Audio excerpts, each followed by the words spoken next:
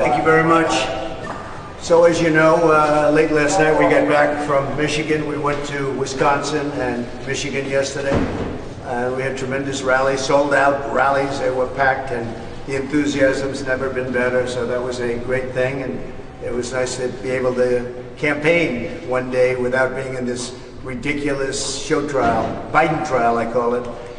But it's, uh, it was quite a day yesterday, and many of you were there, and I appreciate your being there. I thought the coverage was very fair. Uh, the economy, people are asking me about the economy, it's doing terribly, and interest rates are obviously not going to be able to be reduced prior to the election because inflation is roaring back.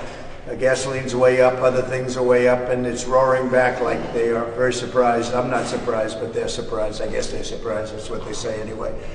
So uh, that's uh, on the economy. It looks uh, pretty bleak for interest rates, and uh, this, I don't think there's any way they can cut them because inflation's very. Inflation, remember, is a country buster.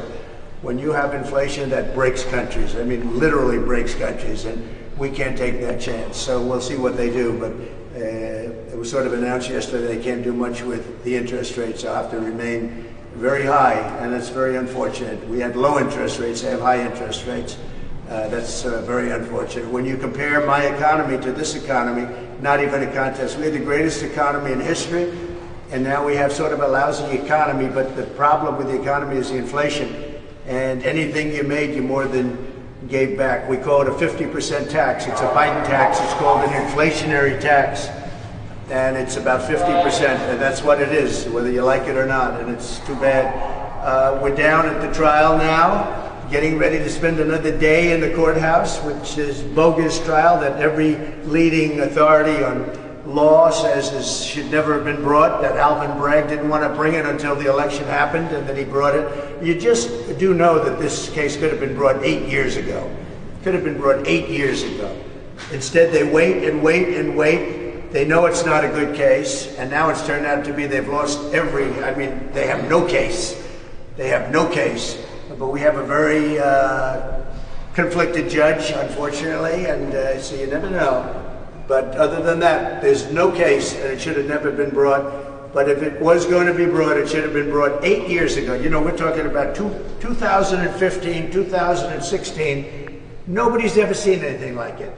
And they wait till I announce, and then they start their action, and then they wait till prime time, Super Tuesday. It all started Super Tuesday, the biggest day which we won every single thing. I mean, Super Tuesday was a big day for me, but that's when it all really came into being.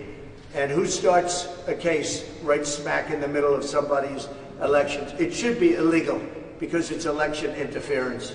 So we're going to go in right now, and uh, I, will comment just quickly on the colleges and universities. It's a shame. I'm so proud of the New York's finest. Uh, they're great. They're great people too. I know so many of them. They're incredible. They did a job at Columbia.